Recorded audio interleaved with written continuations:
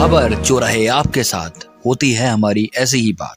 UP hundred news TV. हवन पूजन के साथ संपन्न हुआ उद्घाटन कार्यक्रम। हिंदू रीति रिवाज के हिसाब से हवन पूजन कर भाजपा कार्यालय का उद्घाटन किया गया। कार्यक्रम में मुख्य यजमान के तौर पर भाजपा जिला अध्यक्ष अचिन मेहरोत्रा तथा दर्जा प्राप्त राज्य मंत्री लालजी प्रसाद निर्मल मौजूद रहे। भाजपा जिला अध्यक्ष अचिन मेहरोत्रा ने फीता काट कर कार्यक्रम का उद्घाटन किया। जिला अध्यक्ष अचिन मेहरोत्रा ने कहा की भारतीय जनता पार्टी सभा सिधौली समेत सीतापुर की समस्त नौ विधानसभाओं में इतिहास बनाने के लिए तैयार है। मौके आरोप उन्होंने मीडिया कर्मियों के सवालों के जवाब भी दिए।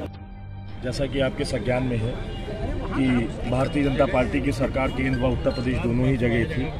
और जैसा कि आज आपने इस कार्यालय उद्घाटन के अवसर पर भी देखा कि मनीष जी की अपनी लोकप्रियता है। वो अपने सरल व्यक्तित्व के कारण आम जनमानस के हृदयों में निवास करते हैं और प्रत्येक कार्यकर्ता से जितनी जल्दी उन्होंने समन्वय बनाया है, ये अपने में एक बहुत अच्छी संदेश देने का काम उन्होंने किया है। हम लोग सिधौली विधानसभा में पिछले पाँच साल से जो हमारे यहाँ विधायक थे, जो उन्होंने सिधौली विधानसभा को विनाश की ओर ले गए लेकिन हमारी केंद्र उत्तर प्रदेश की जो योजनाएँ थी, उसको यहाँ हम लोग ने लागू कराकर और विकास की एक नई योगदान पूरे ज़िले के साथ साथ सिधौली में भी देने का काम किया।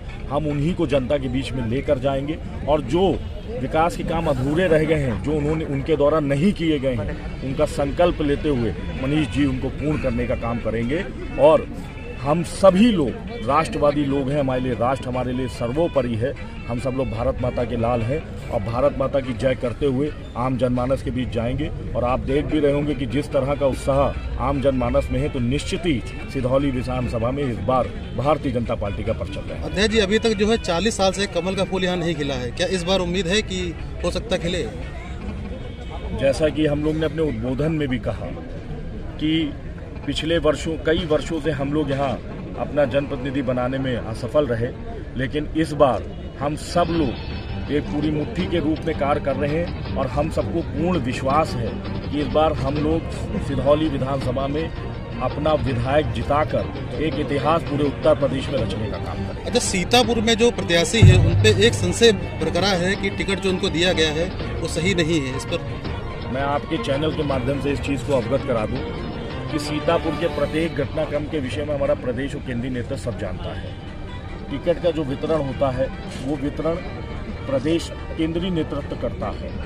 पार्टी ने कोई निर्णय ले लिया, क्योंकि सीतापुर विधानसभा से मैं भी प्रबलता से मेरा नाम था, सबके संज्ञान में भी ये विषय है। पार्टी ने कोई निर्णय ले लिया, हम सब लोग पार्टी के सिपाही हैं। पार्टी से हमारी जान और पहचान है। पार्टी ने जो निर्णय ले लिया हम सब लोग पूरी ताकत के साथ उसमें जुटे हैं। आज जैसा कि मैंने अभी आपको बताया कि सीतापुर विधानसभा में कार्यालय का उद्घाटन हज़ारों की संख्या में कार्यकर्ताओं का समूह वहाँ देखने को मिला और उस समूह ने वहाँ पर यह प्रदर्शित कर दिया है कि सीतापुर विधानसभा भी हम लोग ऐतिहासिक जीत कर अच्छा समय कम है और तैयारियाँ जोरों पर करनी है। क्या हो सकेंगी? मैं आपको अवगत करा दूँ कि भारतीय जनता पार्टी